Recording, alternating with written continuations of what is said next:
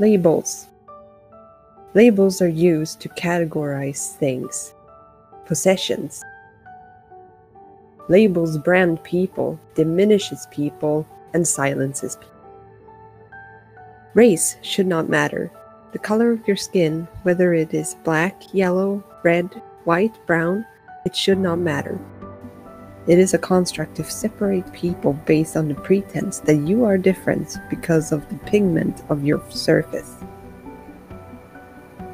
Sexuality should not matter. Love is an awesome power that people have no business meddling in unless someone is being harmed. One does not choose the soul they fall for. Weight should not matter. The one true thing we ever own is our bodies, the place where our soul resides. It comes in different shapes and forms. We do not choose our bodies.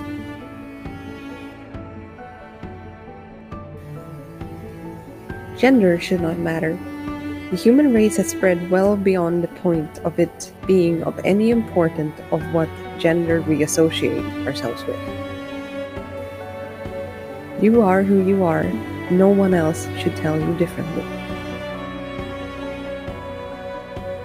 It is a way to spread fear of strangers, making us look at people as us and them.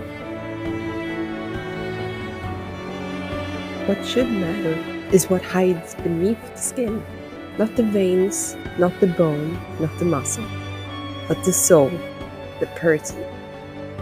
No one is their body, and no one should be labeled.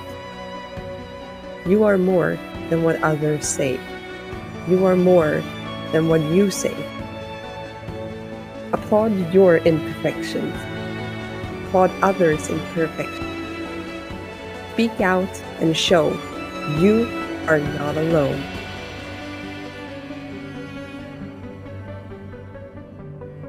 I am human. Is there really any more to say?